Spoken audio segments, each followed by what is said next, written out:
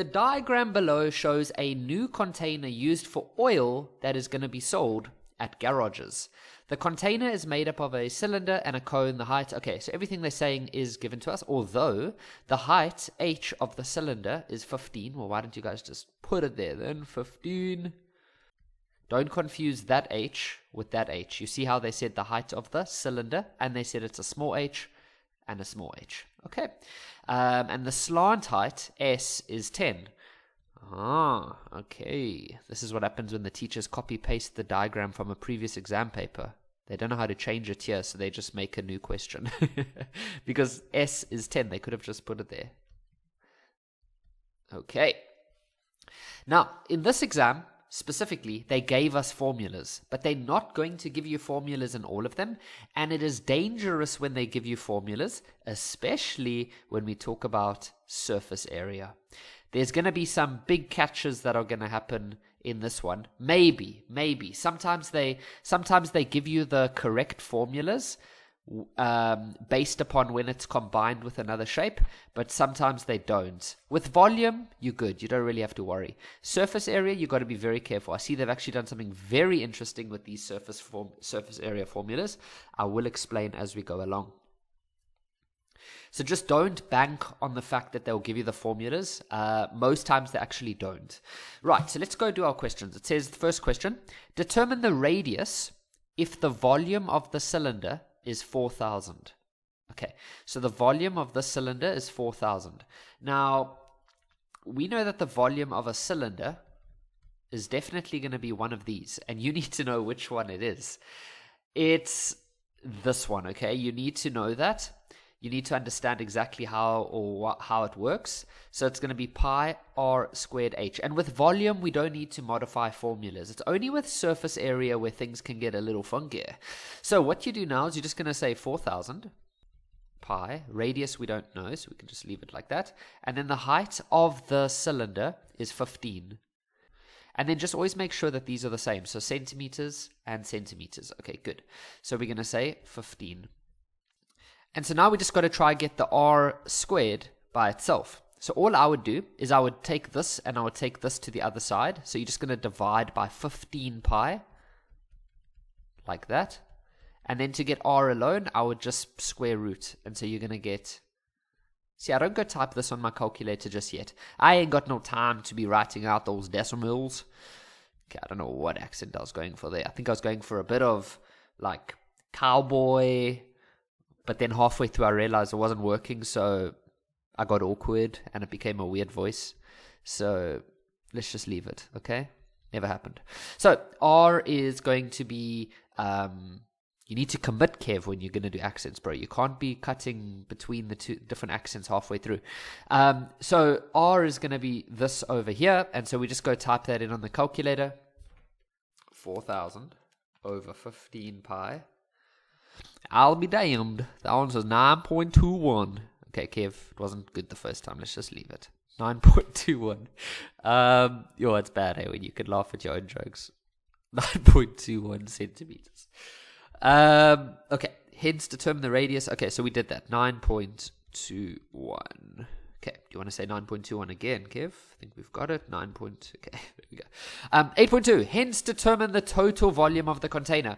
Now, when we're looking at volume, I want you to smile because volume is easy. Volume will never try to catch you out. Surface area, by the way, oh, that's a different one.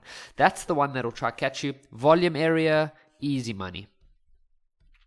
So they said they want the total volume of the container, so that'll just be um, the total volume is equal to the volume of the cylinder plus the volume of the cone. And that's just going to be the volume of the cylinder they already gave us is 4,000. And then the cone is this one over here. Whenever you see a 3 at the bottom, that is either a cone or a pyramid. It's any shape that goes like that. Any shape that comes together at a point, that's where we divide by 3. Okay, look at the earlier videos in this playlist, which is actually the grade 9 uh, videos, um, which I've added here to these videos um, or playlist where I explain all of that. Okay, so the volume of the cone is going to be a third. Now it says area of base. So if you look at this cone, if you look at its base, It's a circle. So what is the area of a circle? Pi r squared. Pi r squared. Um, so that's pi. And then the radius is what we've just worked out now as 9.21. Oh, KFC, you're telling me that if I got the first question wrong, now I'm going to get all of my questions wrong because it uses this answer. No, don't worry about that.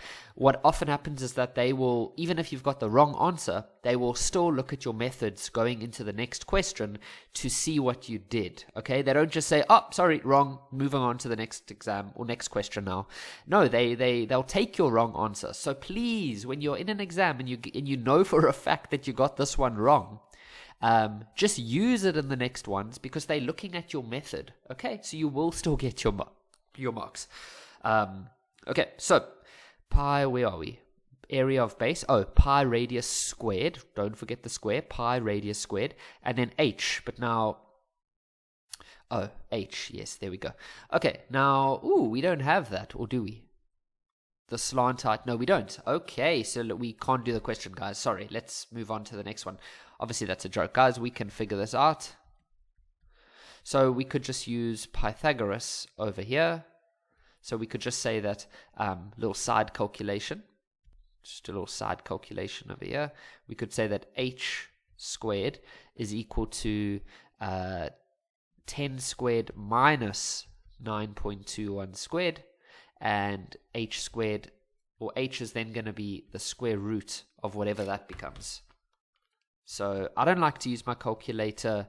Well, like I don't, I don't want to go get all the decimals right now. You see how I'm delaying the process right to the end, and so that's going to be three point nine zero centimeters. So 3.90 centimeters. So that's going to be uh, okay. So it says. Uh, so where are we? Uh, oh, yes. Okay. So it said that the volume of this, so we need that, is going to be 3.90. And so if we now go and calculate all of this on our calculators, we get 4346.43. And that is going to be centimeters cubed. Okay. This one says, the last one, calculate the total surface area of the container. Now, here's where you need to be like, um, more cautious. Okay, in this in this particular exam, they actually were they were actually very nice to the learners. These are actually modified formulas, and I'll explain why. You should understand that this is actually a modified cylinder, and then this is a modified cone. Let me explain what I mean. So normally, if you have a cylinder cylinder, it's got this formula 2 pi r squared because it's got a circle at the top and a circle at the bottom. And then it's got the part that goes around, and that's always going to be 2 pi r h. That is a normal cylinder. But when you are looking at surface area of a combined shape, can you agree with me that this part over here is not going to be visible on the outside of the shape. And so we need to change this from two circles to only one circle. But they've done that for us, which is something I actually have not seen them do before. So don't bank on the fact that they're going to do that. So that's why they're doing a modified formula for you over there. Now for a cone, a normal cone by itself is pi r squared plus pi r s, which is the slant height. Let me explain. So when you have a cone, you've got a circle at the bottom, which is this part, and then you've got the weird part going around the sides, which is that part. But once again, this part will not be exposed, and so they were very kind to only give you the pi rs part. They took this part out. Some of you are like, Kevin, what's this bracket, bro? I also thought that, but it's actually just the finishing of this bracket over here. Ah, smart man. And so, in this particular exam, learners who didn't understand their work very well actually would have done very well in this last question because the formulas that they gave are perfect for the scenario that we have. But very often, they will leave the 2 over there and they will leave the pi r squared. And learners will go and use those formulas. And that's where the problems come in. And then they're like, yo, but I used the formula. But you need to understand the formula and they're trying to catch you out with surface area. Okay, so we're just going to go add all of this together. So S, uh, the surface area is just going to be uh, pi r squared plus 2 pi rh plus uh, pi rs.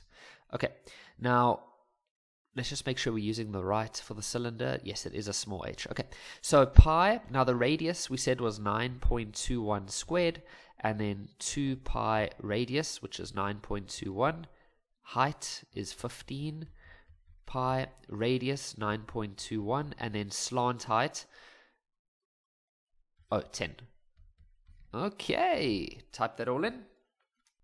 And we get 1, 4, well, let's rather write it over here, Kev. 1423.85, and that'll be centimeters squared because it's area.